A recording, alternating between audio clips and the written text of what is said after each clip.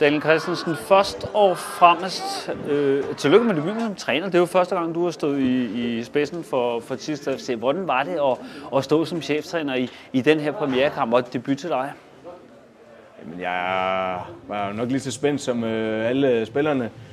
Øhm, den her kamp har jeg spillet øh, mange gange inde i mit hoved øh, de sidste øh, halvanden uge. Øh, hvordan nogle scenarier kunne der opstå i løbet af kampen og så videre og så videre. Øh, så jeg synes, det, det var fedt.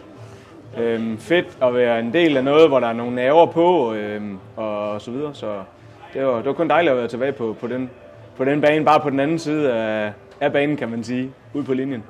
Så blev du så til et øh, 2-0 øh, nederlag i, i premierkampen. Hvad fortæller det om sådan i øjeblikket, hvor I er henne?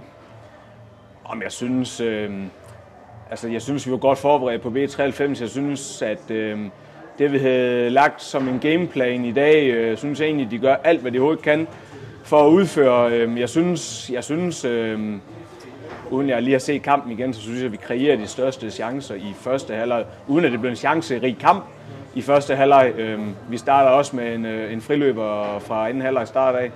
Og så, ja, så må jeg bare sige, de har jo selvfølgelig, øh, de har nogle individualister, og Ernberg, det mål han lavede til 1-0, det er jo individuel høj kvalitet. Øh, men igen, ikke noget, vi ikke var forberedt på, hvad han ville. Øhm, og mål til 2-0 er øhm, faktisk mest ærgerlig over, fordi at det er der, hvor de spiller ind i de her mellemrum, som vi, vi faktisk kan snakke rigtig meget om. Øhm, men jeg synes, øh, overall, jeg er pisse... Øh, jeg, jeg er irriteret, jeg er lidt skuffet. Øhm, drengene er skuffet, fordi at vi, vi havde sgu en god følelse af, at vi godt kunne få noget med heroverfra. Øhm, ikke på, på det spilmæssige, vi vidste, at B93 ville være bedre på, på bolden også, men øhm, på, på, på andre kvaliteter i spillet, og der synes jeg, at vi gør alt, hvad vi kan i dag.